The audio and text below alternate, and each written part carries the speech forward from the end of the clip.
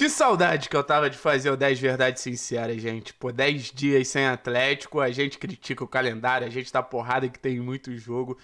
Mas ainda mais o torcedor atleticano, ele sente muita falta, né? Já que eram duas temporadas com quase todas as semanas ocupadas. Quando não era paranaense, era brasileiro, era Copa do Brasil, era Libertadores, era Sul-Americana.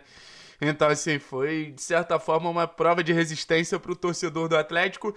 Mas estamos de volta fazendo esse quadro que antecede a, a live dos jogos, sempre em dias de jogos, onde a gente traz 10 pontos interessantes de um Atlético e Santos, no caso Santos e Atlético, já que o jogo é na Vila Belmiro, primeiro turno empate, se eu não me engano, de 2 a 2 uma partida onde o Atlético até jogou bem, mas assim, para variar, erros defensivos acabaram favorecendo, favorecendo o Santos naquele momento.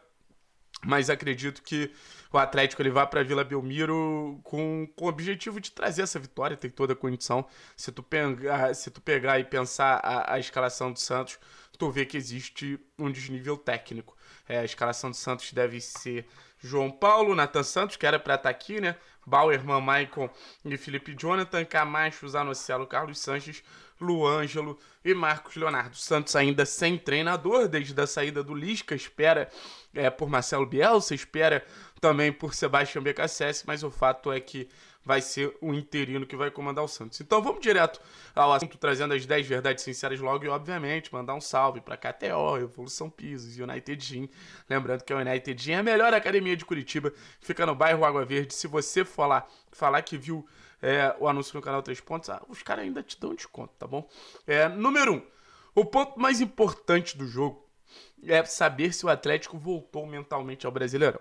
Porque, assim, a gente às vezes leva muito, pouco, leva muito pouco em consideração essa questão do, do mental, mas acho que o mental ele sustenta muito o jogo de, de todos os times possíveis, né?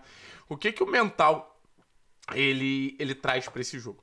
O Atlético, em menos de um, em um pouquinho mais de um mês, tá disputando uma final de Libertadores. E a concentração dos jogadores, eu não sei se está 100% no Campeonato Brasileiro. Ah, mas a gente tem que se garantir na Libertadores, a gente não pode se dar o luxo de perder pontos.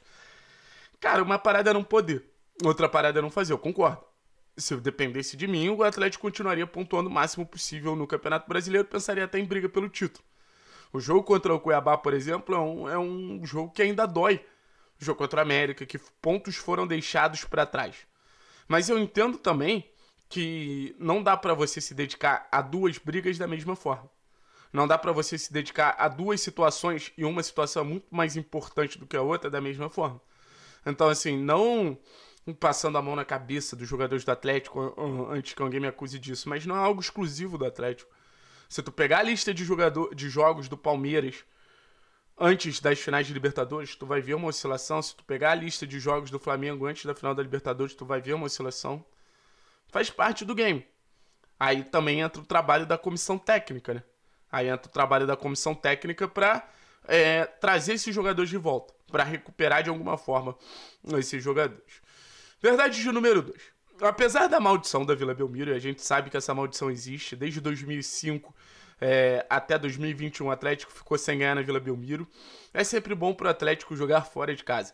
Aí tu vai entrar numa discussão que é em relação ao modelo de jogo, né? É um modelo de jogo que muita gente não gosta, mas é um modelo de jogo que eu acho que abraça esse cenário de se sentir confortável no setor adverso, num cenário adverso. Porque, assim, eu vejo que o Atlético, ele, nessa de ser um time de transição, quando ele tem que propor jogo, ele sofre. O Cuiabá foi um exemplo disso. Teve 15 minutos muito bons no momento final do primeiro tempo.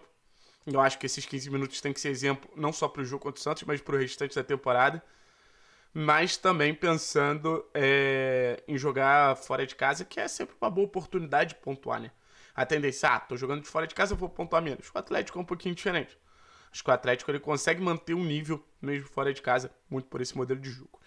Número 3, é hora de fazer testes pensando na final da Libertadores, em cada oportunidade. Pois é, assim, eu acho que o Atlético ele deve aproveitar não só para ver os titulares, óbvio, ainda vão ser necessários testes para titulares, sabe? E ainda vão ser necessários testes para para a gente definir os 11 que vão entrar em campo contra o Flamengo, porque eu acho que não estão definidos.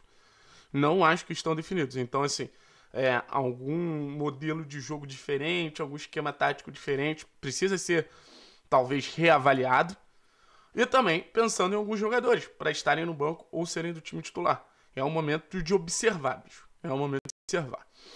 Número 4. Vai ser um confronto decidido também pelos goleiros. E, e, acho que isso é muito interessante. Acho que talvez essa seja a, a melhor historinha. Porque você tem dois goleiros revelados nos respectivos clubes, o caso de Bento e o caso de João Paulo, e são dois dos principais goleiros do futebol brasileiro na temporada, né? A primeira temporada do Bento, ela já é extremamente impactante nesse aspecto de, cara, beleza, é a primeira temporada do, do cara, mas é um cara que já vem dando uma resposta, sabe? E o João Paulo, pô, já tem três, quatro temporadas aí que tá entre os melhores goleiros do Brasil. Acho que até mereceu uma convocação pelo nível que vem agarrando. Hum, mas, assim, acredito que, de alguma maneira, os goleiros vão sim influenciar na, no resultado final do jogo. Tenho convicção disso. O número 5. Kelvin pode se beneficiar com o Nico fazendo a lateral esquerda. A gente sabe que Pedrinho está suspenso. Abner machucado, a tendência é Nico Hernandes assumir a vaga na lateral esquerda. Então, imagina o seguinte. Imagina o Atlético atacando dessa maneira. Três zagueiros. O Nico, na fase ofensiva, ele não vai avançar tanto. Então, vai ficar três jogadores assim nessa fase de construção. Aí você tem dois volantes rompendo essa linha de, essa primeira linha de pressão adversária que sei lá, deve ser Fernandinho Moura, não sei. Aí você bota o, o Kelvin bem aberto de um lado, o Coelho ou Vitinho, ponta esquerda bem aberto do outro, traz o ponta direita para fazer um segundo atacante. Aí você pode pensar até no Vitor Roque sendo esse ponta direito porque ele vai vir para dentro, mas enfim, o Canóbio já é um cara que faz esse movimento de ocupar o espaço entre lateral e zagueiro. E você teria um, um, um esquema com o Kelvin quase como ponta, né? É, o Kelvin a gente sabe como ele gosta de atacar, é um zagueiro que é um lateral que vem se estabelecendo cada vez mais defensivamente, mas se sente mais confortável atacando. Acho que pode ser um cenário interessante. Número 6. Quanto nossa zaga, quanto nossa zaga for mais exigido nos duelos contra camisas 9, é um certo treino para final de Libertadores contra Pedro e Gabigol. Então, assim, a gente vai pegar um dos uma das principais promessas do futebol brasileiro, né? Não vou me empolgar e também falar que o, o Marcos Leonardo é um dos principais jogadores do futebol brasileiro, não, uma das principais promessas. E assim, ele já, ele já nos machucou bastante no jogo de ida, então a gente vai ter um confronto muito complicado na final da Libertadores, pensando em dois atacantes muito fortes, né? Que são Pedro e Gabigol. Então, questão de atenção, de posicionamento, de controle de jogo, de saída para caça, tudo isso que requer muita muito, muito talento do zagueiro ali. Eu vejo que essa zaga ela vai começar sendo exigida é, dependendo dos jogos do Campeonato Brasileiro. O recorte contra o Cuiabá foi negativo, já que o Davidson conseguiu fazer um gol. Agora, contra o Santos, é buscar ser é, eficiente passar em branco nesse duelo contra o Marcos Leonardo. O número 7 contra o meio campo lento, Carlos Sanches, Camacho, Zanocialo. Christian é um jogador que tem tudo para deitar. Gostaria de ver o Christian. Acho que a dinâmica do Christian, a movimentação do Christian se daria muito bem nesse, nesse duelo contra o meio-campo do, do, do, Santos. O Christian ainda não voltou de lesão da maneira que a gente imaginava, tendo minutos e tudo mais. Então, assim, acho que, que essa movimentação constante do Christian seria interessante até para aproveitar os espaços que a lentidão do meio-campo Santos gera. Número 8. Marlos e Terãs precisam ter pelo menos 10 minutos juntos. Com eles ficam. Com eles tudo fica mais fácil. Acho que é óbvio, né? Acho que, assim, é juntar os dois jogadores mais talentosos do seu time no, no, no time titular. Marlos e Terãs parece que, que ficaram muito empolgados pelos minutos juntos contra o Cuiabá, postaram fotinhos juntos, a gente até fez vídeo falando sobre esse cenário.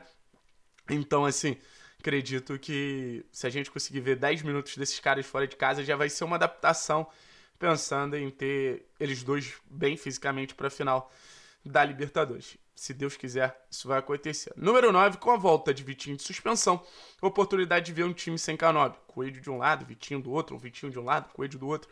Enfim, acho que o Canóbio, pelo rendimento que ele vem tendo e pelo fato dele estar na seleção uruguaia também, vocês acharam que eu ia me confundir, mas eu não confundi sabe? O, o fato de, de você não precisar botar o Romulo por ali. Como eu falei, você pode botar até o. Você pode botar até o Vitor Roque jogando pelo lado. Não acho uma situação impossível, mas essa oportunidade de ver o time sem o Canóbio com o Vitinho voltando junto com o Coelho, eu acho que é um ponto bem interessante. Número 10, contra uma zaga alta e muito física, ou o Atlético busca jogar jogar por baixo, jogar aquele jogo mais maroto, ou o Vitor Roque vai sofrer ainda mais, já que esse cara que tem muita dificuldade de ficar duelando é, o jogo aéreo, essa bola que vem da defesa contra os, os adversários, ainda mais contra Bauerman e Michael, né? Que são dois brutamontes, podemos dizer assim. Valeu, rapaziada? Tamo junto, é nóis. Quero saber qual ponto você concordou mais, qual ponto você concordou menos. Interessado. Forte abraço.